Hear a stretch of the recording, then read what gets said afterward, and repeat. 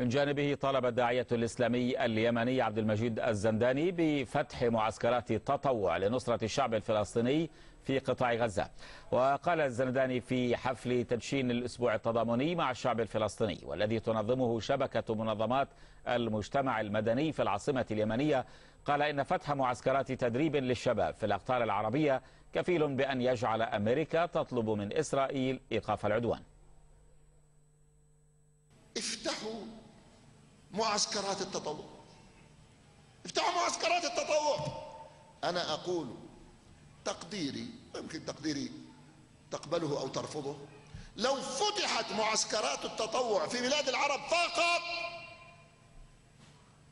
ودخل ملايين الشباب إلى معسكرات التطوع للتدريب أمريكا ستقول لإسرائيل تأخذها من إذنها. ارجعي ارجعي ارجعي.